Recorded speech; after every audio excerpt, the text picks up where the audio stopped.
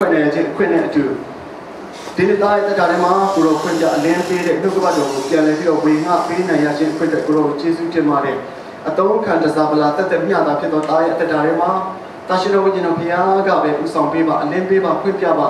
အသက်တာအသီးသီးမှာနားလည်နိုင်သောဉာဏ်ပညာကိုလည်းကိုရောခွင့်ပြအလင်းပေးကောင်းကြီးပေးတော်မူပါသခင်ယေရှုခရစ်ရဲ့မြတ်တော်နာမကိုမြည်ပြုတဲ့အစာပြုပါတယ်ဖခင်ဆောတော်ဘုရားသခင်အာမင်ဒီနေ့လောကမှာလူက ကိုကဘယ်လိုလူစားမျိုးလဲဆိုတဲ့အရာကကိုတိတလောက်ပဲပြန်ပြီးတော့တုတ်ပြန်အသက်ရှင်တတ်တဲ့သဘောရှိတယ်။ဒါမှမဟုတ်လေတစ်ခါလေးမှအာလူတွေကဘယ်လိုပြောနေပြီဆိုတဲ့အပေါ်မှာယက်တည်ပြီးတော့အသက်ရှင်တာမျိုးလည်းရှိတယ်။အဲ့တော့တကယ်တကယ်မှလူကပြောရရင်ကိုကိုကိုတရားမှတရားသိနိုင်တဲ့နားလည်နိုင်တဲ့လူဘယ်သူမှမရှိဘူးလောကမှာ။ကိုယ့်အကြောင်းကိုသိလာပြီလို့ လူကထင်ကောင်းထင်မယ်ဒါပေမဲ့ကိုယ့်အကြောင်းကိုတရားမှတရားလုံးစိတ်ပတ်စိတ်သိနိုင်တဲ့လူလောကမှာမရှိနိုင်ဘူးအဲ့တော့တခါလေးမှကိုယ့်ရဲ့အနေအထားကိုပြန်သုံးသပ်တဲ့အခါမှာကိုယ့်ကိုယ်ကိုပြန်သုံးသပ်ကြည့်တော့ကိုယ့်ကိုယ်မကျေနပ်တာတွေလည်းရှိတယ်အဲကိုယ့်ကိုယ်အားမလို့အားမရဖြစ်တဲ့အပိုင်းတွေလည်းရှိတယ်သူများနဲ့ရှင်ကြည့်လိုက်လို့ရှိရင်ကိုယ့်အရက်အမောင်းကအစကိုယ့်ရဲ့အသားရည်အကိုယ့်ရဲ့ပညာရေးကအစအဲကိုယ့်ရဲ့မိသားစုနောက်ခံအတိုင်းဝိုင်းကအစ အာဒါလေးတွေကပြန်ပြီးတော့သူများနဲ့ရှင်ကြည့်တဲ့အခါမှာကိုယ့်ကိုယ်ကိုအားမလို့အားမရဖြစ်တဲ့အပိုင်းတွေလည်းရှိပြီးတော့မှအဲ့ဒီဂျားထဲမှာအတက်နိုင်ဆုံးအတက်နိုင်ဆုံးပြောင်းမှုစူးစမ်းပြီးမဲ့လည်းအပေါ်ရန်တက်တက်ပဲအဲအပေါ်ရန်တက်တက်ပဲပဲသွားနေတဲ့အချိန်ခါမျိုးမှာအာတကယ်တမ်းမှာ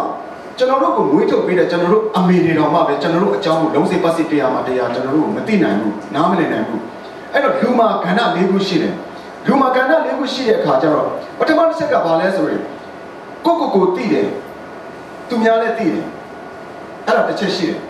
ကိုဘာဖြစ်နေလဲဆိုတော့ကိုကိုကိုသိတယ်ဘေးလူကလည်းကိုကိုကြည့်အဲ့ဒီတိုင်းမြင်တယ်အဲ့တော့ကိုကိုကိုသိတယ်သူများလည်းသိတယ်ဒါကသိတာထင်ရှားတဲ့အရာ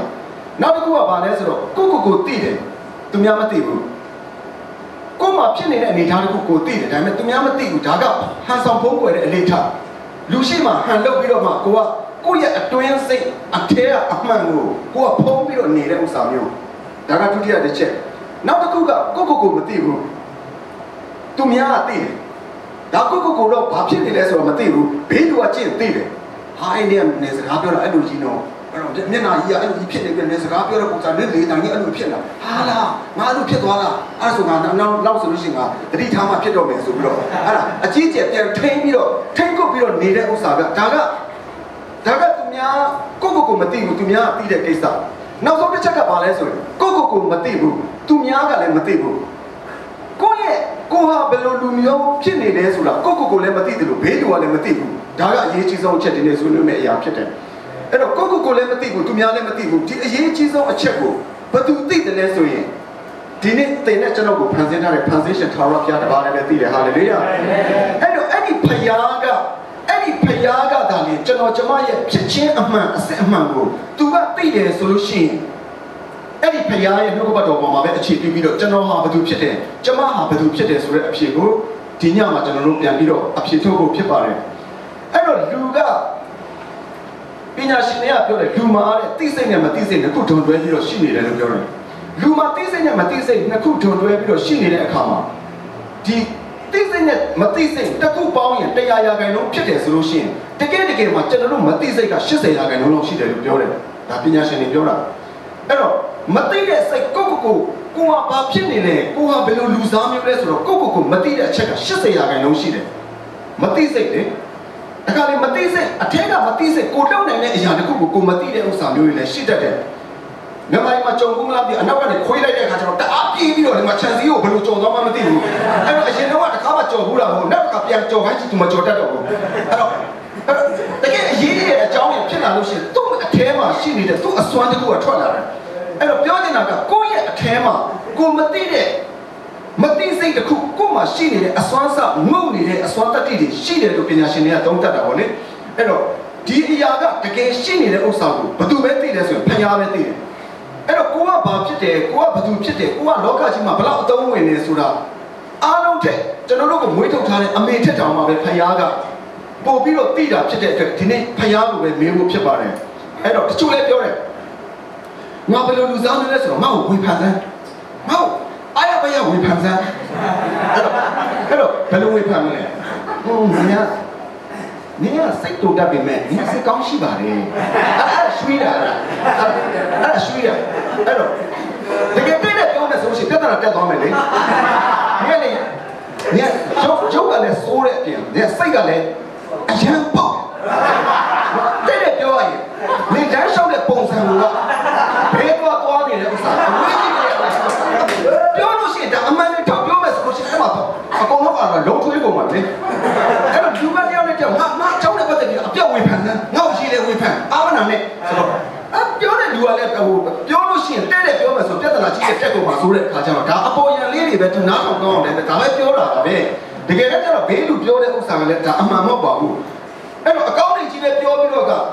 ဒါအမှန်နဲ့ပြောရင်ခုနပြောလို့ပြဿနာတက်မှာဖြစ်တဲ့အခါကျတော့ဒါကြောင့်မလို့ဒီနေ့ကျွန်တော်ကျမသည်ဘယ်လိုလူစားမျိုးဖြစ်တယ်ဘာဖြစ်တယ်ဆိုတော့ဥစ္စာကိုနှုတ်ကပတ်တော်ပေါ်မှာပဲအခြေပြီးပြီးတော့ကျွန်တော်တို့အဖြေရှာလို့ဖြစ်ပါတယ်အဲ့တော့စာလံကျမ်းထဲမှာ139ခုမြောက်သောစာလံအပိုင်ငယ် 73လောက်ကနေစပြီးတော့ကျွန်တော်တို့ဖတ်ကြည့်လို့ရှိရင်ကိုတော်ဒီအကျွန်ုပ်ဤကြောက်ကပ်ကိုပင်ဖန်ဆင်း၍အမိဝမ်းထဲမှာအကျွန်ုပ်ကိုဖုံးဖုံးတော်မူပြီးအကျွန်ုပ်ဒီကြောက်မဲ့ဖွယ်သောလက္ခဏာထူးဆန်းသောလက္ခဏာနှင့်ပြည့်စုံပြီးဖြစ်၍ကိုတော်ကိုချီးမွမ်းပါမည်ပြုပြင်တော်မူသောအမှုတို့သည်အံ့ဩဖွယ်ဖြစ်ကြောင်းကိုအကျွန်ုပ်ဤစိတ်ဝိညာဉ်သည်အမှန်သိပါ၏မထင်ရှားသောအရာ၌အကျွန်ုပ်ကိုဖန်ဆင်း၍မြေကြီးအောက်အရာ၌စစ်ဆက်စွာပြုပြင်တော်မူသောအခါအကျွန်ုပ်ဤကိုယ်ခန္ဓာသည်ရှေ့တော်၌ထင်ရှားလျက်ရှိပါ၏တဲ့အဲ့လိုပဲဖတ်မယ် အဲ့တော့အငယ်14မှာကြောက်မဲ့ဖွယ်သောလက္ခဏာထူးဆန်းသောလက္ခဏာအထဲမှာကြောက်မဲ့ဖွယ်သောလက္ခဏာမကောင်းတဲ့ဗီဇသဘောတဘာဝအရက်ကြိုက်တတ်တယ်မူရစီဝါကြိုက်တတ်တယ်အဲ့တော့လူတက်ခြင်းနဲ့ဒါတွေကလူရဲ့အထဲကနေပြီးတော့ဖယ်ထုတ်လို့မရတဲ့ဥစ္စာမျိုးဖယ်ထုတ်လို့မရတဲ့ဥစ္စာမျိုးတွေတယောက်နဲ့တယောက်မုန်းတီးတဲ့ဥစ္စာမျိုးတွေ အဲ့တော့တယောက်နဲ့တယောက်ဟိုမကောင်းတက်လို့တော့ဟိုနှကန်းလေးဒီနှကန်းတစ်ဖက်ကိုအပေါ်တုံပြီးတော့ပြောင်းပြတာပဲရှိတယ်ဘာမှပြင်မနာမဟုတ်ဘူးလေဒီနှကန်းတစ်ဖက်ကိုအပေါ်တုံတာအဲ့တော့တယောက်နဲ့တယောက်အပေါ်ရန်သဘောမျိုးလောက်ပဲသွားနေတဲ့ဥစ္စာလူရဲ့အထဲမှာဒါရှိပြီးသားအဲ့တော့ဖယားကဖန်ဆင်းတဲ့မြတ်ကိုကျွန်တော်တို့လူကြီးပဲမဟုတ်ဘူးအရာကတိအားလုံးကဖယားဖန်ဆင်းတဲ့ဥစ္စာတွေကျွန်တော်တို့ကြည့်လို့ရှိရင်အလင်းဖန်ဆင်းတယ်အမောင်ဖန်ဆင်းတယ်အချိုဖန်ဆင်းတယ်အခါဖန်ဆင်းတယ်ပူတာဖန်ဆင်းတယ်အေးတာဖန်ဆင်းတယ်အဲ့တော့ဖန်ဆင်းတဲ့အထဲမှာလူကအားတာခြင်းအားနေချက်လည်းလူမှာတွဲပြီးတော့ပါလာတယ် အဲ့တော့ကျွန်တော်တို့မိမှာလူတိုင်းလူတိုင်းမှာသူ့အားသာချက်ကလေးတွေရှိသလိုလူတိုင်းလူတိုင်းမှာသူ့အားနည်းချက်တွေလည်းရှိတတ်တယ်အဲ့တော့တချို့ကသူ့ရဲ့အားသာချက်ကဘာလဲဆိုတော့တတိထားမိလို့ရှိရင်အဲ့ဒီအားသာချက်ထဲကနေပြီးတော့သူထောက်တောင်းတတ်တဲ့အခါကျတော့တော်တော်လေးပေါ့ပေါ့မြောက်မြောက်ရှိသွားတဲ့လူတွေလည်းရှိပြန်ရောတခါလေမှာကိုယ့်ကိုယ်ကိုမသိတာရှိတယ်လေကိုယ့်ကိုယ်ကိုအားသာချက်အားနည်းချက်ဘာဘာအားနည်းနေလဲကဘာအားသာနေလဲဆိုတော့မသိတဲ့လူတွေအများကြီးရှိတယ်ကျွန်တော်ငယ်တော့ဆိုလို့ရှိရင် ကရာတီအရင်ဝါဒနာပါတယ်အဲ့တော့ဟိုနိုင်ငံကျော်ကရာတီချန်ပီယံဖြစ်အောင်စူးစမ်းမယ်ဆိုပြီးတော့ကျွန်တော်အဲ့ဒီခင်မှာအဲ့မှာကလေးမျိုးမှာကျွန်တော်တို့အမှချန်ဆင်ဝင်းဗီဒီယိုရှိတယ်အဲ့တော့ချန်ဆင်ဝင်းဗီဒီယိုကအဲ့ဒါဟိုလမ်းစုံဘေးနားမှာရှိတဲ့အခါကျတော့အဲ့မှာတော့တော့ပြီးတော့ဗီဒီယိုတော့တော့ကြည့်အဲ့ဒီထဲအကွက်တွေတိုင်းပြင်ပြန်ပြီးတော့အတကုံကျက်တာဆယ်နှစ်သားလောက်ပဲအဲ့တော့ဆယ်နှစ်သားလောက်လည်းတကုံကျက်တော့ဆယ်နှစ်စကားနဲ့ရောက်လာတဲ့အခါကျကရာတီသွားတင်တယ်ကရာတီသွားတင်ပြီးတော့ခပတ်နဲ့ဒီပိုင်းရလိုက်တယ်ခပတ်နဲ့ဒီပိုင်းရပြီးတော့ကြီးလာတဲ့အခါကျကရာတီပြန်ပွဲတယ် အာဝင်ပြန်တကုံထိုးခါရတာလေရေးရေးလေးနဲ့ပြင်းခါရတာအဲ့တော့ဒီကပြန်ပွဲတိုင်းမှာကျွန်တော်ထူးညုံမဲပြီးတော့မှရောင်ကိုင်းပြီးတော့မှဒီအခုတတိဒီနှခမ်းထဲမှာဆိုလို့ရှိရင်တော့အတမတက်နေတော့မှသူများထိုးရတာကိုထိုးရတာမဟုတ်ဘူးသူများထိုးရတာအဲ့သူများထိုးရတဲ့ခံပြီးတော့ပြန်လာတာဒီထဲမှာအဲ့တော့ပြန်တော့တက်ကြည့်တယ်ဒါမှအားကချက်မဟုတ်ဘူးဒါ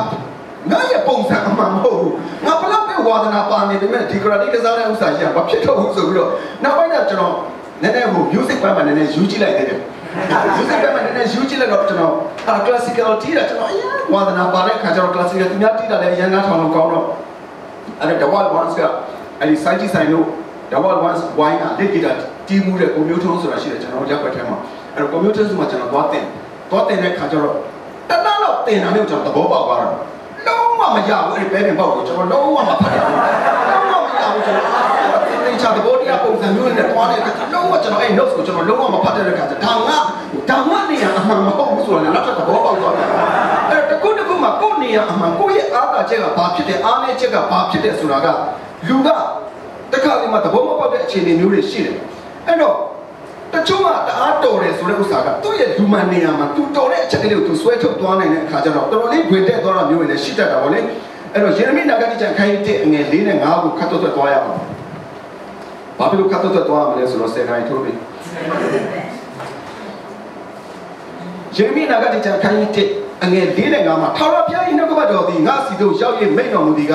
တင့်ကိုအမိဝမ်းနဲ့ငါမဖန်ဆင်းမီတင့်ကိုငါသိပြီအဲ့တော့မဖွားမိကပဲတင့်ကိုငါတန့်ရှင်းစေ၍ဒီအမျိုးမျိုးတို့အခု prophet အရာနဲ့ငါခံထားပြီကိုမိန့်တော်မူ၏အဲ့တော့မဖန်ဆင်းခင်ကတည်းက ယေရမိဟာဘယ်လိုလူစားမျိုးဖြစ်လာမယ်ဆိုတာသူ့မိဘတော်မသိသေးဘူးဖခင်ကအကြံစီရှိထားပြီးသားဟာလေလုယာအဲ့တော့မဖန်ဆင်းခင်ကတည်းကသင်နဲ့ကျွန်တော်ရဲ့အသက်တာထဲမှာလည်းကျွန်တော်တို့ကိုမွေးထုတ်ပေးတဲ့အဖေအမေကတော့ကျွန်တော်တို့ကဘာဖြစ်လာမယ်ယောက်ျားလေးလားမိန်းကလေးလေးတော့မသိသေးဘူးကျွန်တော်ရဲ့အသက်တာကျမရဲ့အသက်တာဒီလောကမှာဘယ်လိုပုံစံမျိုးနဲ့ရှောက်လန်းအသက်ရှင်ပြီးတော့ဘယ်လိုဖြစ်လာမယ်ဆိုတော့ဖခင်မှာ plan အပြည့်ရှိထားပြီးသားအဲ့တော့ဖခင်မှာ plan ရှိထားပြီးသားဖြစ်နေရင် ဖခင်ကကျွန်တော်တို့ရဲ့အသက်တာထဲမှာတင်းရဲ့အသက်တာကျွန်တော်ရဲ့အသက်တာမှာတရားမှာတရားရာခိုင်တော့ဥမချီးကားမှချန်အကုန်သိတယ်သူ့မှာအကုန်သိတယ်အဲ့တော့ဖယားကလှုပ်ထားတာကအကြံစီတော်ရှိတဲ့အတိုင်းအနကအတိတ်ပဲမရှိတာဖယားကတောင်းနေတဲ့နိုင်ငံမှာပြင်းလုံးအားကြီးလို့ဘာလို့မှလည်းမသိဘူးအဲ့ဒါနဲ့ဟိုဂိမ်းဆော့ဖို့ဂိမ်းဆာဆိုလည်းမရှိဘူးလေအဲ့တော့သူ့မှာ wifi လည်းမရှိဘူးဆိုတော့သူလည်းပြင်းလုံးအားကြီးလို့တခါတည်းလူတွေကိုအပြည့်ပြည့်ရှော့ဖန်ဆင်းနေတာမဟုတ်ဘူး ဒီနေ့လူမှာဖန်ဆင်းနေဆိုတာသူ့မှာအကြံစီရှိတယ်ဒီနေ့တဲ့နဲ့ကျွန်တော်ကိုလောကကြီးမှာလူလာဖြစ်စေပြီးတော့မှဒီနေ့ကျွန်တော်တို့ကိုယုံကြည်သူအဖြစ်အသင်းတော်ထဲမှာတကောက်တနေရာတစ်ခါတစ်ခါမှာကျွန်တော်တို့နေရာချထားရဲဆိုတာသူ့မှာ plan ရှိတယ်အလကားနေရင်ကျွန်တော်တို့ကိုလူဖြစ်စေတာမဟုတ်ဘူးအဲ့တော့အတိတ်ပဲမရှိတာဘာမှမလုပ်တာဖြစ်တဲ့အတွက်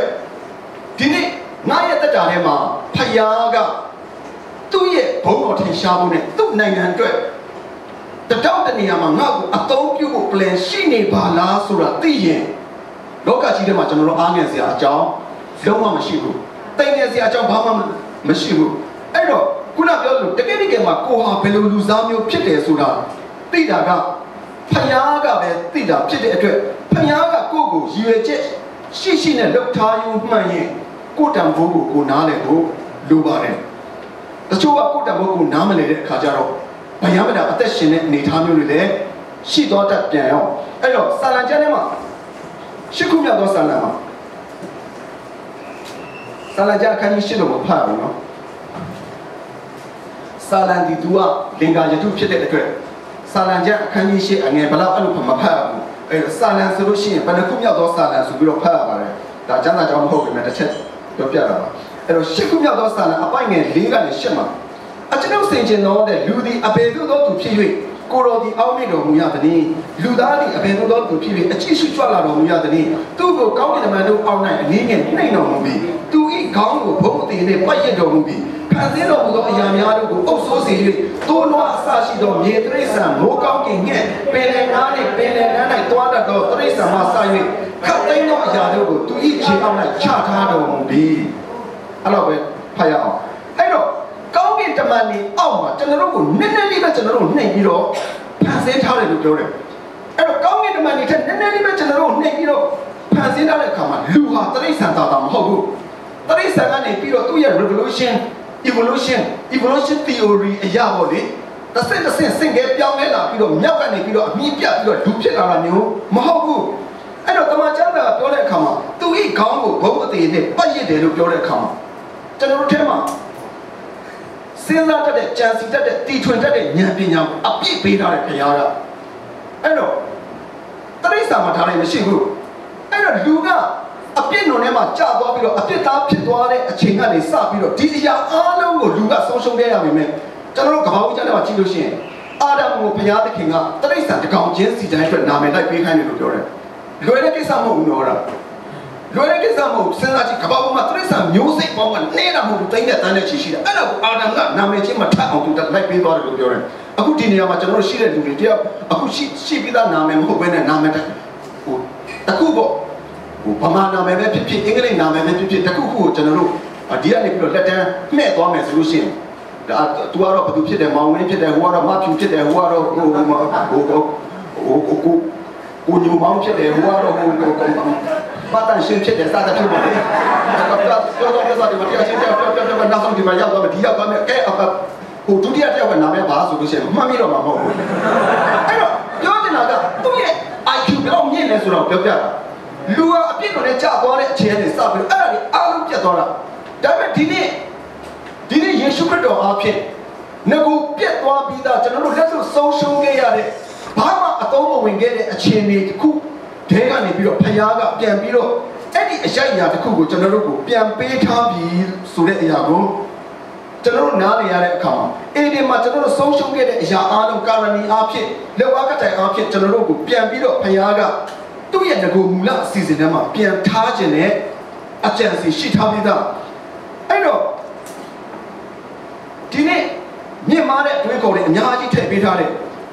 ယ်ထည့်ပေးတဲ့အခါကျတော့ဖယားကလူကိုဖန်ဆင်းတာဆိုငါတို့ပုံတံနဲ့ညီလူကိုဖန်ဆင်းမယ်လို့ပြောတဲ့အခါမှာအတွင်းအပြင်အားလုံးပါတယ်အဲ့တော့သူ့ရဲ့အည်သွဲသူ့ရဲ့အမူအကျင့်အကုန်လုံးကကျွန်တော်တို့ရဲ့အထဲမှာဖယားရဲ့တဏ္ဍာကအကုန်ထည့်ထားပြီးသားအဲ့တော့ကောင်းကင်မြင်ရှိစကြဝဠာတစ်ခုလုံးကိုဖန်ဆင်းတဲ့ဖယားရဲ့မူလပုံတံကကျွန်တော်တို့ရဲ့အထဲမှာထည့်ထားပြီးသားဖြစ်တဲ့အခါမှာလောကမှာဒီနေ့လော မယုံကြည်သူတွေလည်းပြောတာပေါ့လေလောကမှာဘယ်လိုအသက်ရှင်ရမလဲဒီလိုအသက်ရှင်ရမယ်ဆိုတော့လောကနေတိစာအုပ်တွေပါရေးတဲ့စရေးဆရာတွေပါလည်းရှိတာပဲတကယ်တော့စရေးဆရာတွေလည်းသူတို့လည်းအသက်ရှင်နေထိုင်ဖို့အဲ့လောက်ထိပုံလာတာမဟုတ်ပါဘူးပြောရရင်လောကမှာဘယ်လိုဘယ်လိုနေရမယ်မိဘကိုဘယ်လိုယူသေးရမယ်ဘေးပတ်ဝန်းကျင်အတိုင်းဝဲမှာဘယ်လိုအသက်ရှင်ရမယ်စတဲ့ဥစ္စာတွေသူတို့ဘယ်လောက်ပဲရေးရေးပါလောကနေတိကျမ်းနေရေးတဲ့လူတွေလည်းသူတို့အသက်တာတွေဘာမှပုံလာတာမဟုတ်ပါဘူးပြောရရင်ဒါ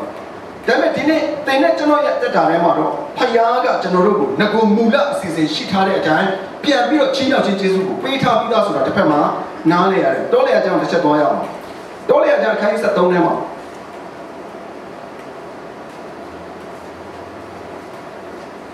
တောလေအကြောင်းအခန်းကြီး73ထဲမှာအေဒေလာလူမျိုးတွေ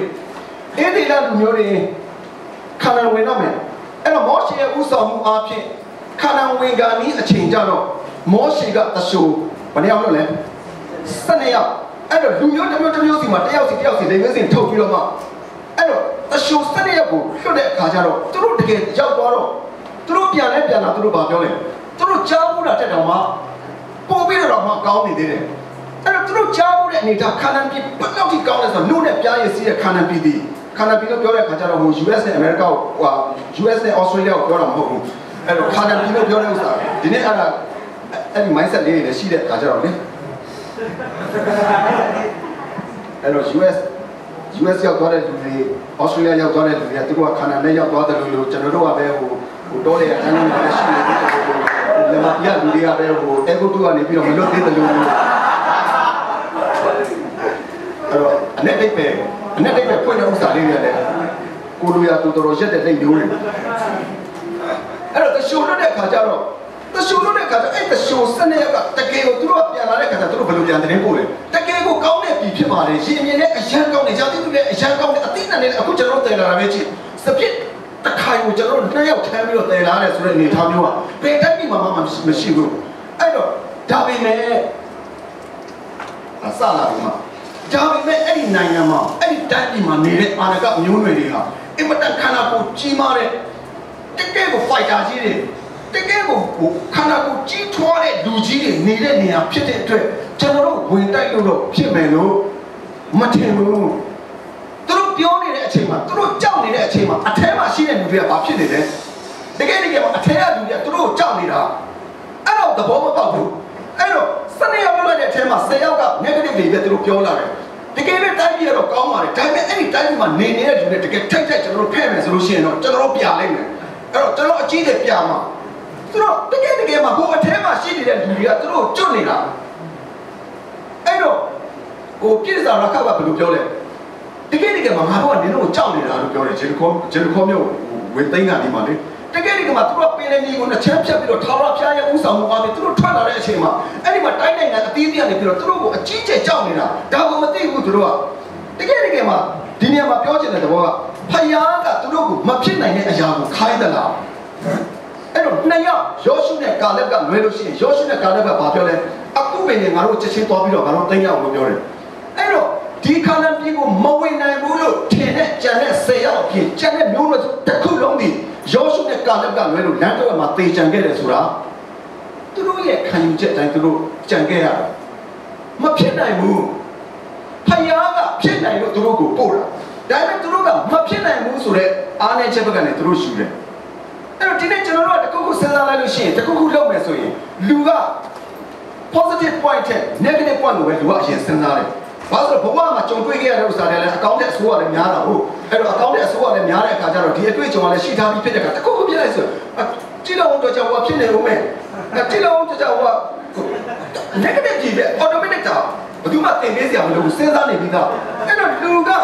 ဟိုဒီနေရာမှာလည်းပဲ तू ကစိတ်ဓာတ်တွေပြက်ပြားပြီးတော့ ကြည့်ချင်တော့ငိုကြွေးကြတယ်လို့ပြောတယ်တိမ်ငယ်စိတ်တွေအဲ့တော့ယောရှုနဲ့ကာလက်ကနေလွဲလို့ရှိရင်ကြံတဲ့လူတွေကဝင်ခွင့်မရဘူးဆိုတာသူတို့ရဲ့ဖြစ်ချင်းအမှန်ကိုမှန်မှန်ကန်ကန်မမြင်တတ်တဲ့လူတွေအဲ့တော့သူတို့ကဘာပြောလဲဒီတော့လည်းအကျဉ်းအခန်းကြီး73ထဲမှာအငယ်33ကိုပဲဖတ်ပါမယ်ကိုကြီးသောလူအမျိုးတွေအာလကအမျိုးတွေဖြစ်၍ အလွန်ကြီးမားသောသူတို့ကိုလည်းမြင်ခဲ့ကြပြီသူတို့ရှေ့မှာငါတို့ဒီကိုအထင်တိုင်းနှံကောင်ကဲ့သို့ဖြစ်ကြ၏သူတို့အထင်တိုင်းနဲ့ထိုတို့ဖြစ်ကြသည်ဟူ၍၎င်းမိမိတို့စူဆန်သောပြည်ကိုအေးသေးလာအမျိုးသားတို့အားမကောင်းသောတည်င်းကိုကြားပြောကြတယ်အဲ့တော့သူတို့ကိုသူတို့ဘယ်လိုမြင်လဲနှံကောင်လို့မြင်တယ်အဲ့ဒီစိတ်ဓာတ်ကဘာစိတ်ဓာတ်လဲဆိုတော့နှံကောင်စိတ်ဓာတ်အဲ့တော့နှံကောင်စိတ်ဓာတ်ရှိတယ်ဒီနေ့ခရိယန်တွေနဲ့နှံကောင်စိတ်ဓာတ်ရှိတတ်တယ်ကိုကိုကိုတိတ်တိတ်လေးလို့ပဲမြင်တယ်အဲ့တော့တိမ်ငယ်နေတာကိုကိုကိုတိ တ်တိတ်လေးဖုတ်ချီလို့ပဲမြင်နေတာလေအဲ့တော့ဒီနေ့တိုင်းကြီးရောက်လာတဲ့အခါပိုတော့မှပိုတော့တော့မှလူကတိမ်ငယ်တဲ့စိတ်ကပုံများလာတယ်အဲ့တော့ဒီနေ့ဇုံမီးတွေဆိုလို့ရှိရင်ဒီကရဲတွေဘယ်လိုခေါ်လဲပူသေးလို့ခေါ်တာဘာလို့ပူသေးလို့ခေါ်တာကျွန်တော်တော့မခေါ်ကျွန်တော်ဓမြတွေလို့ပဲခေါ်တာပူဆိုတဲ့စကားလုံးအတိတ်ပဲဒါလေးစားသမှုနဲ့ခေါ်တာကိုကဘာဘာဖြစ်လို့ဒီဒီပုံကိုယ်ကိုပူသေးသွားခေါ်စရာလို့တည်းလဲ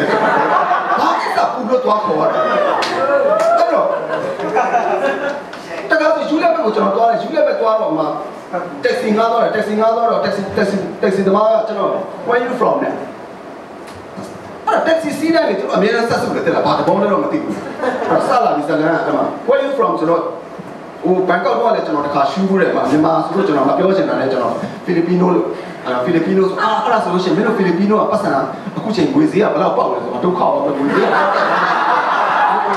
ယူလို့ပေါ်တယ်နော်ဟိုကြည့်ကြည့်နေအဲ့ဒါလည်းဟို ဟိုငါမေးနေတယ်လေးတဲ့တက်စီသမားအဲ့ဘန်ကောက်မှာတော့မဟုတ်မင်းတို့ဖိလစ်ပီနိုပတ်စံနဲ့ငါတို့ဒီထိုင်းပတ်စံနဲ့ဘယ်လောက်ကွာတယ်လဲမသိဘူးလို့အဲ့ဒါဘာဖြစ်လို့ဆိုငွေဈေးကအတက်ကျရှိတယ်လို့အဲ့ဒါရှောက်ဘူး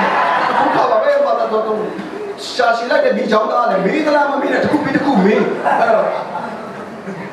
အဲ့ကတည်းကကျွန်တော်မရှိရတော့ဘူးအဲ့တော့အခုကတော့တက်စီစီးလို့ရှိရင်ကျွန်တော်ပေါ်တယ်ပြောတယ်မင်းဘယ်လာငါမြန်မာလို့အော်မြန်မာ ဆိုတော့နာမတလားလုံးလေကျွန်တော်အရှိတယ်လို့လို့ခရဲတယ်လို့လို့ဟိုအထင်သေးလို့နှင်းတယ်လို့ကျွန်တော်တော့ကြည့်နေဒီကောင်က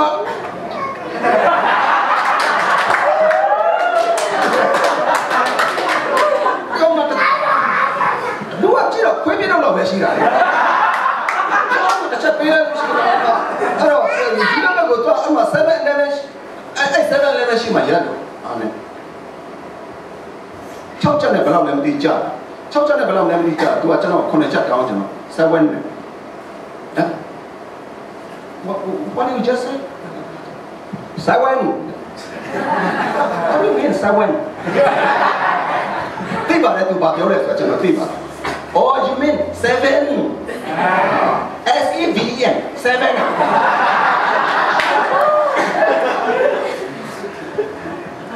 ပြောချင်တာလေဟို seven တော့မပြောတတ်တဲ့လူတွေပါ ပြောရကျွန်တော်ကတော့တော့လည်းမတူပါဘူးအဲ့တော့7တော့မပြောတတ်ဘူး7 7လို့ပြောလို့ရတယ်7 11လို့ပြောတဲ့လူတွေလေအဲ့တော့12တော့မပြောတတ်တဲ့လူတွေ12လို့ပြောတဲ့လူတွေပါအဲ့တော့ဒီပြောရရင်ဒီလိုနေရာမျိုးမှာကျွန်တော်ဘာမှကျွန်တော်လုံးဝတိမ်ငယ်စိတ်ကိုမရှိတာလုံးဝတိမ်ငယ်စိတ်ကိုမရှိဘူးကျွန်တော်တို့တိုင်းပြည်မှာပြောရရင်အစိုးရတက်တယ်ဒီပေါင်းများစွာကျွန်တော်တို့ချွတ်ချုံကြခဲ့တာပဲရှိတယ်တကယ်တော့သူတို့တက်ကျွန်တော်တို့ညံ့တဲ့ဥစ္စာဘာမှမရှိဘူးအဲ့တော့ဘာမှဟိုပူသေးနေပါခေါ်စရာအကြောင်းမရှိပါဘူး တော်တို့ကြောက်လာတဲ့အချိန်မှာဟိုဖယားကကျွန်တော်ကျမရဲ့တက်တာတွေမှာကျွန်တော်တို့ကိုပေးထားတဲ့ဗိတ်သိက်ကျေးဇူးကယုံကြည်သူတိုင်းမှာရှိထားပြီးသားအဲ့တော့ကိုယ့်ကိုယ်ကိုနှံကောင်လို့မြင်နေတဲ့အဲ့ဒါနှံကောင်အမြင်မျိုးအဲ့ဒါနှံကောင်စိတ်ကြ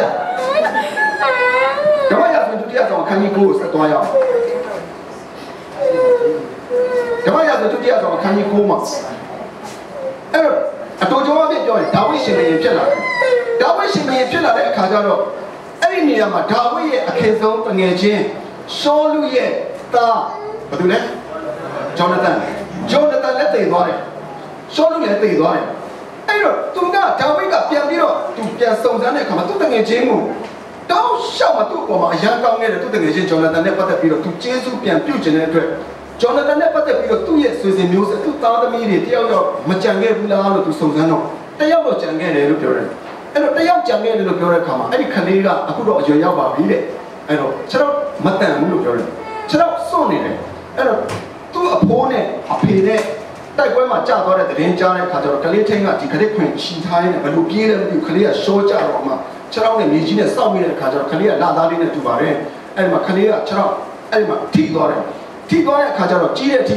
ဒီအောက်ပိုင်းမတန်တော့တဲ့ပုံစံမျိုးဖြစ်သွားတာဗောလေအဲ့ဒီတော့ဝီချဲတွေပါတော့ရှိမှမထင်ပါဘူးအဲ့တော့ အဲ့လိုပုံစံမျိုးနဲ့ဘာပဲဖြစ်ဖြစ်သူအပိုင်းတန်နေဖြစ်စေမတန်နေဖြစ်စေငါကျေးဇူးပြုချင်တယ်ငါတကယ်ချင်းဂျော်ဒန်ရဲ့သားကိုငါပြန်ပြီးတော့ငါကျေးဇူးပြုချင်တယ်လို့ပြောတဲ့အခါအဲ့မှာဂျော်ဒန်ရဲ့သားဘေဘီဘောရှက်ကိုတော့ပြန်ခေါ်ခိုင်းတော့အဲ့ဒါနဲ့သူတို့တော့ခေါ်တော့ခေါ်တဲ့အခါကျဟိုကဘယ်လိုထင်နေပြီလဲအဲ့ဒီခင်မှာတော့အင်ဂရစ်တွေလက်ထက်မှာတော့ဟိုပြောရရင်ရှောလူနဲ့ဒါဝိဒ်နဲ့ဂျားထဲမှာလည်းအကြီးကျယ်ပြဿနာတွေကရှိထားခဲ့ပြီးသားအဲ့လိုကြည့်ရတာသူ့အဖိုးကိုမကျင်တဲ့လို့ ကျူပင်ကကျူငေါမချန်ဆိုတဲ့ပုံစံမျိုးနဲ့အကောင်ရှင်းဖို့အတွက်သူ့ကိုနောက်ဆုံးလက်ချက်ရှင်းဖို့သူ့ကိုခေါ်တာနဲ့တူတယ်လို့သူကထင်နေတာဟိုကတကယ်တော့မဟုတ်ဘူးတငယ်ချင်းရဲ့သားဖြစ်လို့ချင်းပြောက်ချင်းလို့ခေါ်တာအဲ့တော့ခေါ်ပြီးတော့ရောက်လာတဲ့အခါကျတော့ဟိုကတုံနေပြီဟိုကတုံနေပြီမဟုတ်ဘူးမင်းကငါခေါ်တာငါဘာမှအန်ရလို့မဟုတ်ဘူးအဲ့တော့မင်းကိုပြန်ပြီးတော့မင်းအဖေမင်းအဖိုးလက်ထက်ကလေးကနေစပြီးတော့မင်းတို့ပိုင်ဆိုင်ခဲ့တဲ့မြေတွေယာတွေ လေတွေအိမ်အကုန်လုံးမင်းတို့ငါပြန်ပေးမယ်လို့ဒါဝိတ်ကပြောတယ်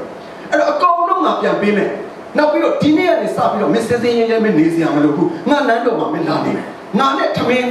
စပွဲတစပွဲနဲ့မင်းငါနဲ့အတူတူနေတိုင်းစားရမယ်တသက်လုံးတိကျကောင်းတဲ့အစီအစဉ်မရှိတော့ဘူးပြောရရင်လေအဲ့တော့တစ်ဖက်ကဒါဝိတ်ကဂျေစုပြုတ်နေတဲ့ဥစ္စာကိုတစ်ဖက်မှာမေဘီဘောရှက်ကဘာပြန်ပြောလဲ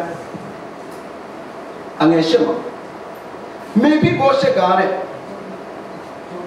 ကျွန်တော်ကဲ့သို့ဖြစ်ရသောခွေးတိမ်ကောင်ကိုကိုတော်ကြည့်ရှုရမည်အကြောင်းကိုတော်ကျွန်းသည်အဘယ်သို့သောသူဖြစ်တယ်နည်းကြည့်စမ်း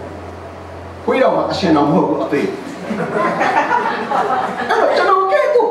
တော့ခွေးတိမ်ကောင်ကိုဆိုပြီးတော့ဟိုကအမြင့်ဆုံးချီးမြှောက်ဖို့အတွက်သူ့ကိုခေါ်တာလေအဲ့တော့ဒါဝိဒ်ကသူ့ကိုခေါ်တာက သူ့ရဲ့အဖေမျက်နှာနဲ့ခေါ်ထုတ်ထားပြီးတော့မှအဲ့ဒီမှာသူပိုင်ဆိုင်ခဲ့တဲ့ဘိုးဘေးလက်ထက်ကလေးပိုင်ဆိုင်ခဲ့တဲ့နေရီယာရီလဲလေးအိမ်အကုန်ပြန်ပေးမယ်ဒီနေ့ကနေစပြီးတော့ငါနဲ့ထမင်းစပွဲတဝိုင်းထဲမှာမင်းအတူစားရမယ်တိကျကောင်းတဲ့ plan မရှိတော့ဘူးအဲ့တော့တိကျကောင်းတဲ့ plan ဆိုလို့ရှိရင်မှာဒါဝိဒ်ကိုယ်တိုင်ကိုပလင်ဘောနဲ့ဆင်းပြီးတော့သူ့ကိုဘယ်လောက်ခိုင်းမှုပဲရှိတော့အဲ့တော့ဒီနောက်တဲ့အခြေအနေအခွင့်အရေးပေးနေတဲ့ဥစ္စာကိုဟိုကသူ့ကိုသူဘယ်လိုမြင်လဲခွေးတိတ်ကောင်လို့မြင်တာအဲ့တော့အမြင့်ဆုံးနေရာကိုချီးမြှောက်ထားတဲ့ဥစ္စာကို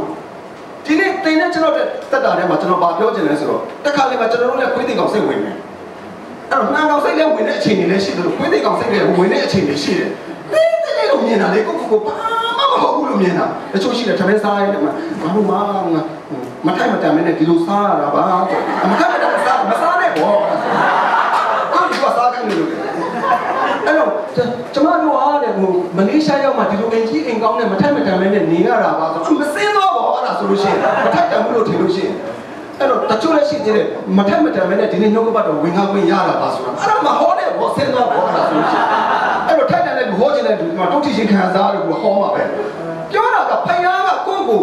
အခြေအနေအစစ်အနက်တစ်ခုမှာထားတဲ့ဥစ္စာကိုယ့်ကိုယ်ကိုမမြင်တတ်တာကိုပြောပြတာအဲ့တော့အမြဲတမ်းတိမ်ငယ်စိတ်တွေအားငယ်စိတ်တွေအဲ့ဒီနှံကောင်စိတ်တွေခွေးသိကောင်စိတ်တွေကခရိယန်တွေအသက်တာမှာမပြောက်တတ်ဘူး ပြီးပြီးလို့မြင်တဲ့အရာတွေမှာအားငယ်တိမ်ငယ်ပြီးတော့မဟုတ်မယုံကြည်သူတွေပါတွေကိုကြည့်လိုက်တဲ့အခါကျပြန်ထင်ကြီးပြီးတော့ဟိုဘာဘာမှမဟုတ်တဲ့ဟိုဟိုကဲတင်ချင်းတော့မရသေးတဲ့ကိုကိုရီးယားမင်းသားတွေပါရှောက်အထုခိုးပြီးတော့တဲ့မလားတကယ်တည်းမှာခရစ်တော်အထုခိုးရမယ့်ဥစ္စာပဲကိုရီးယားမင်းသားတွေပြန်အထုခိုးပြီးတော့ခရစ်တော်အထုခိုးရမယ်လို့ပြောတဲ့အခါကျသဖြင့်လည်းခွဲပြီးတော့နှကမ်းမွေးထားရမယ်လို့ပြောတာမဟုတ်ပါဘူးပုံစံအဲ့ဒီပုံစံတွေပဲလိုက်သူခိုးဖို့စဉ်းစားနေတာလေအဲ့တော့ ကိုကဖယားကအမြင့်ဆုံးမှာချီးတောက်ထားတဲ့အနေအထားတစ်ခုကိုယ့်ရဲ့တန်ဖိုးကိုသဘောမပေါက်ဘူးဒီနေ့ရုံချီတော့ကိုကိုကိုတိတ်တိတ်လေးပဲမြင်နေတာတကယ်တော့ဖယားကအကြီးကြီးကိုကိုနေရာထားထားပြီးသားဒါပေမဲ့သူကနားမလည်နိုင်ဘူးကျွန်တော်တို့အမြင့်နဲ့တင်ခဲ့တဲ့စိတ်တွေအဲ့တော့ငါတို့ထွက်လာတဲ့နိုင်ငံအရန်စင်းရတာအဲ့ဒီနိုင်ငံထဲမှာငါတို့ပြည်နယ်ကအစင်းရဲဆုံးအဲ့တော့ငါတို့ပြည်နယ်ထဲမှာငါတို့ရွာကဟိုးချောင်ထဲမှာတော့မဟုတ်တာလေဒီပဲရှောက်ပြောနေတာအချက်မျိုးအဲ့တော့အဲ့တော့စက်ပြီးတော့ကြည့်လို့ရှိရင် ထွတ်မြောက်အကြအခိုင်းတုံးထဲမှာနောက်တစ်ယောက်ထွတ်မြောက်အကြအခိုင်းတုံးထဲမှာအငယ်စက်တက်မှာမောရှေကလည်းအကျွန်ုပ်ဒီအဘယ်သို့သောသူဖြစ်ဖာရောဘုရင်ထံသို့ဝင်သည်ဖြင့်အေးသေလအမျိုးသားတို့ကိုအဲဂုတ်တုပြည်မှနှုတ်ဆောင်ရပါမည်ဒီဟုဖျားသခင်အားရှောက်လျင်အဲ့တော့ကျွန်တော်ကဘာကောင်လို့ကျွန်တော်ကဒီလူမျိုးတွေကိုကျွန်တော်ဘယ်လိုခေါ်ထုတ်နိုင်မှလဲလို့ပြောမဖြစ်ဘူးနဲ့တူတယ်နော် မဖြစ်တော့ဘူးနဲ့တူတယ်မဖြစ်နိုင်တဲ့ဥစ္စာကိုဖယားကခိုင်းတာလားအဲ့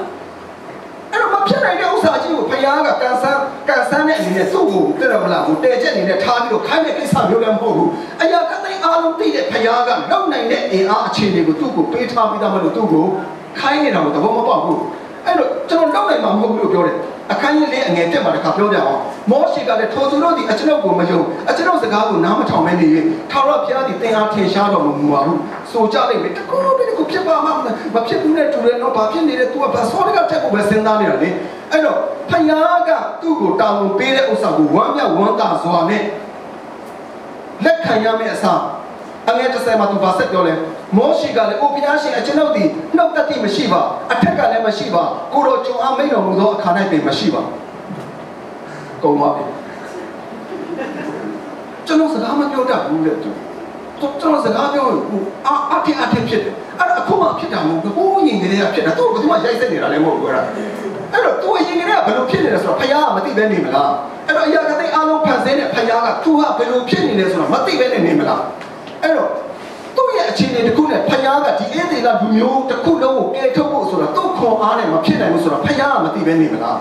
အဲ့တော့ဖယားကလုံနိုင်တဲ့ခွန်အားအစွမ်းတတိကိုသူ့ကိုပေးထားပြီးသားမလို့သူ့ကိုခိုင်းတာဒီနေ့တင်တဲ့ကျွန်တော်ရဲ့တက်တာထဲမှာလည်းဖယားကကျွန်တော်တို့ကိုတတောင်းတနေရာမှာကျွန်တော်တို့ကိုတာဝန်ပေးထားပြီးတော့သူ့ရဲ့နိုင်ငံတော်အထုံးနဲ့သူ့ဘုံတော်ထင်ရှားဖို့အတွက်ကျွန်တော်တို့ကိုအသုံးပြုချင်တာဒါပေမဲ့ကျွန်တော်တို့မသိဘူးအဲ့ဒါကိုတိမ်ငယ်တော့ဖြုံးနေတူလေ မရဘူး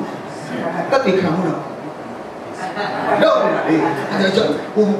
တကယ်အသေးရဖို့ကောင်းတယ်မှာဟိုခုံးဆဲလို့ဘာလို့မှလည်းအဲ့တိုင်းမှာချန်မဲထားပြီးတော့အခုချိန်မှာကျွန်တော်တို့တက်တိခံလို့ချိန်တိုင်းဖြစ်ပါတယ်အဲ့တော့ခရရဲ့ကောင်းရဲ့ချိန်ကိုကျွန်တော်ပြန်ပြီးတော့တက်တိခံဖို့ရ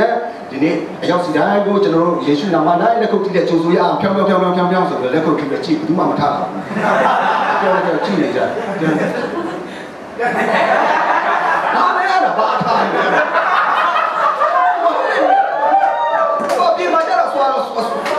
တော့ဆွာတော့နဲ့ဘာပေါ့ကြရတယ်ပြော လို့ကြတော့နေအောင်မရှိဘူးလားဟာတာရီရှောက်ပြောတာတော့ပါလို့ညစ်ပတ်တဲ့ဟာတာရီနဲ့ပြောပြီးအတကုံရီတက်တဲ့လူစားမျိုးတွေအဲ့လိုကြတော့မရှိမှจะတိတ်အေးတယ်လို့လို့မပြောတတ်တယ်လို့ဘာသာတဲ့လေညိုးထူးထိုင်ပဲမကြိုက်တတ်တယ်လို့အဲ့ဒီရှိမှလည်းပုံစံမျိုးတကယ်တကယ်မှာဖယားကကျွန်တော်တို့ကိုနေရာပေးထားတာကအလကားပေးထားတာမဟုတ်ဘူးလုံနိုင်တဲ့အခြေအနေရှိလို့ကျွန်တော်တို့ကိုခိုင်းနေတာဒါကသဘောမပေါက်ဘူးတင်ငယ်စိတ်တွေအားငယ်စိတ်တွေနဲ့ကျွန်တော်တို့တွားနေတဲ့အခါမှာအဲ့တော့ အခန်းကြီးခုနဲ့အငယ်တက်မှာဒီထွက်မြောက်ကျမ်းထဲမှာအခန်းကြီးခုနဲ့အငယ်တက်မှာဘာပြောထားလဲဆိုတော့မောရှိကိုထာဝရဘုရားကလည်းတို့ဖြစ်၍တင့်ကိုဖာရောဘုရင်ဤဖယားအရာ၌ငါခံထား၏တကောကလုံးကဖိတ်ဖိတ်တော်အောင်ကြောက်နေရတဲ့ဖာရောဘုရင်ရဲ့ဆရာတော်မဟုတ်ဘူးနော်ဖယားတိုင်းပြည်တစ်ခုလုံးကို Egypt Empire တစ်ခုလုံးကိုအုပ်ချုပ်တဲ့ဖာရောဘုရင်အကြီးဆုံးဖာရောဘုရင်ရဲ့ဆရာသမားအာစီနေရတော့မဟုတ်ဘူး အဲ့ဒီဖာရောဘုရင်ရဲ့ဖယားနေရာမှာမောရှေကိုထားတာအဲ့တော့ဒီနေ့တခါဒီမှာကျွန်တော်တို့ကိုပေးထားတဲ့အစွမ်းတတ္တိကိုကျွန်တော်တို့ကနားမလဲဘူးလို့မဖြစ်ဘူးနဲ့တူတယ်အရှာကဘူးတယောက်ခိုင်းလိုက်ပါမရဘူးအဲ့ဒါမို့အရင်တော့လည်းမလုပ်တတ်ဘူးမောရှေလိုအရင်တော့လည်းမဖြစ်ဘူးအခုလည်းမဖြစ်ဘူးနောက်လည်းဖြစ်မှာမဟုတ်ဘူး စိတ်တည်းဝင်ခွင့်တယ်ခွင့်တယ်ကောင်စိတ်တည်းဝင်အဲ့တော့သူတို့ကိုလုတ်ပေးထားတယ်လို့ဒီနေ့မောရှေရဲ့အသက်တာမှာလုတ်ပေးထားတယ်လို့ကျွန်တော်တို့ကိုလည်းပေးထားပြီးသားဆိုတော့နားလည်ဖို့အတွက်အရောက်တိုင်းဖျားရှင်ကောင်းကြီးပေးပါစေအဲ့တော့တရားသူကြီးမဆာတစ်ချက်ကြည့်ရအောင်နောက်တစ်ယောက်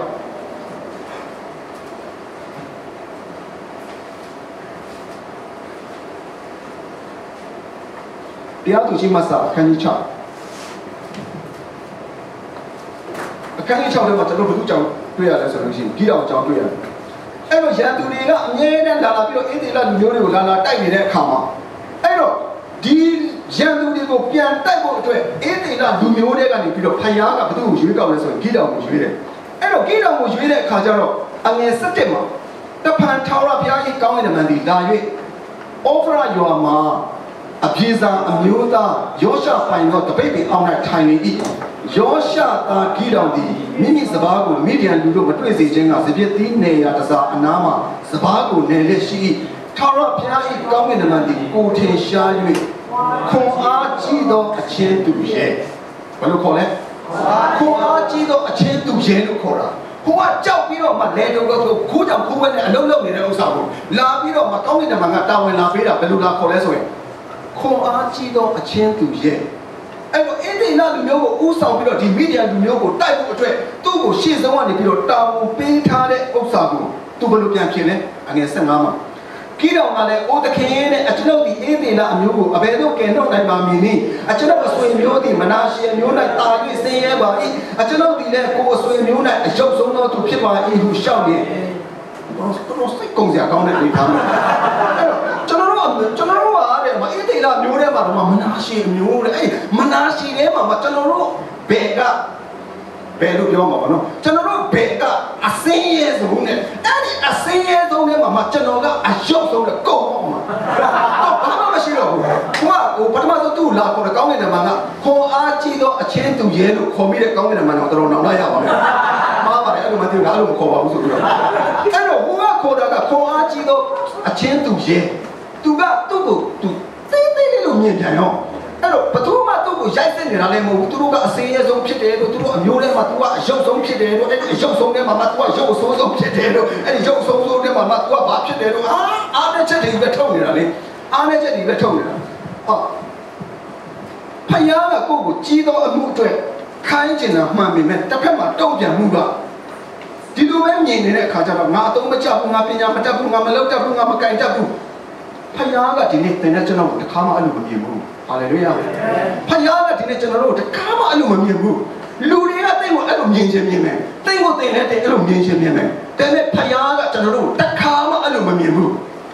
သူ့သားသမီးဖြစ်သူရွေးကောက်ထားတဲ့အခါကမ္ဘာမတည်မရှိမီကတည်းကသူ့မှာ plan တွေအပြည့်ရှိထားပြီးသားခုနပြောသလိုကျွန်တော်တို့ကိုနိုင်ငံတော်အတွက်သူ့အကြီးကျယ်အသုံးပြုချင်တာဖြစ်ပေမဲ့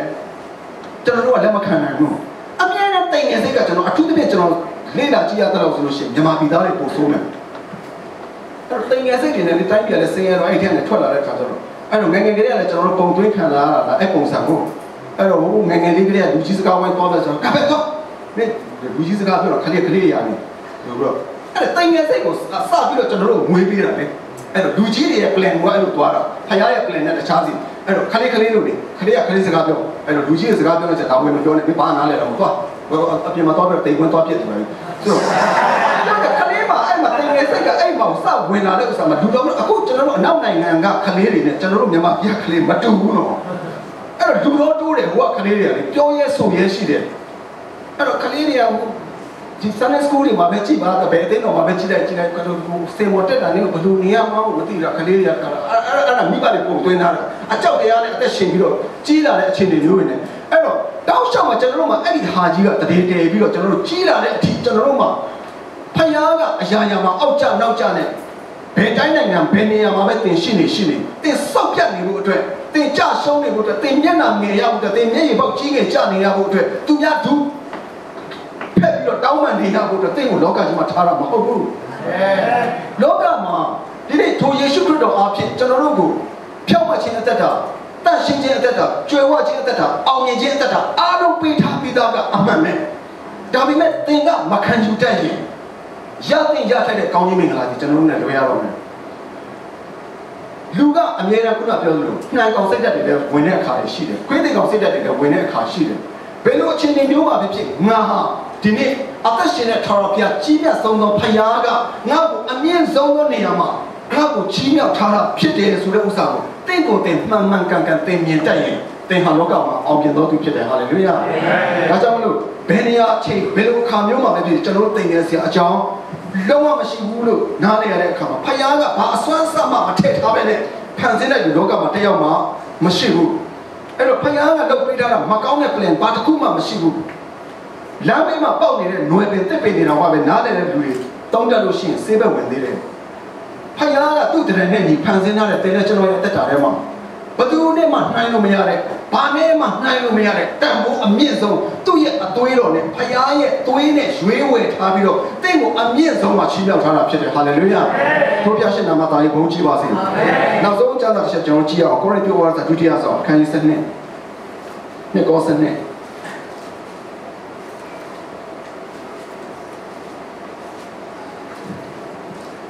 နှစ်ကော7နှစ်အကယ်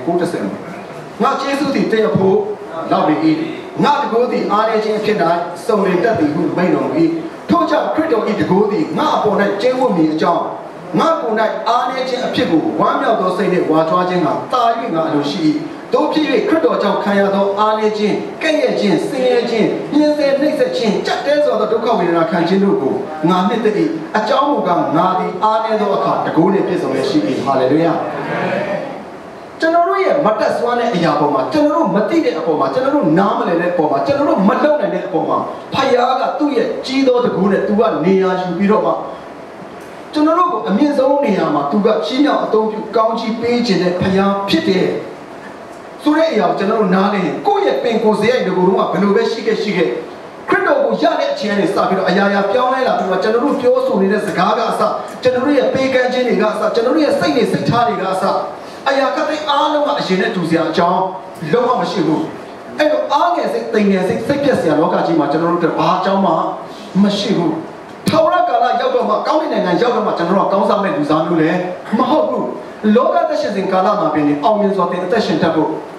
လောကနဲ့လူရဲ့အလယ်မှာအရာရာမှာတင်ပေါက်ပေါက်မြောက်မြောက်တင်အသက်ရှင်တတ်ဖို့ဒါဖခင်ရဲ့အကြံစီတော်ဖြစ်တယ်လို့နားလည်ရင်ဒီနေ့တင့်ကိုတည်တည်လေးလို့မမြင်ပါနဲ့ဒီနေ့ကျွန်တော်တို့ဟာ ယေရှုခရစ်တော်ရဲ့အသွေးတော်များအားဖြင့်ဖယားတကတို့ရဲ့ဖယားဘယံတကတို့ရဲ့ဘယံအသွေးနဲ့ကျွန်တော်တို့ရွေးဝယ်ထားပြီးတော့ဒီကဘာမတိမရှိမိကြတဲ့ကသူ့ရဲ့နိုင်ငံတော်အတွက်သူ့မှာအကြံစီရှိထားပြီးသားဖြစ်တဲ့အတွက်ကျွန်တော်တို့မှာဘာမှတိမ်ငယ်စရာအားငယ်စရာမရှိဘူးဘယ်နိုင်ငံမှာဘယ်ရောက်နေရောက်နေဘယ်နေရာမှာပဲတင်အစေခံနေအစေခံနေတင့်ကို ထိတ်ဆုံးထိဖယားကချင်းမြောက်အသုံးပြုကောင်းကြီးပေးခြင်းနဲ့ဆိုတဲ့အရာကိုဒီနေ့ဒီနှုတ်ကပတ်တော်အားဖြင့်အနေနဲ့တိဆောက်လုပ်ပါတယ်အရောက်တိုင်းဖယားရှင်ကောင်းကြီးပေးပါစေ။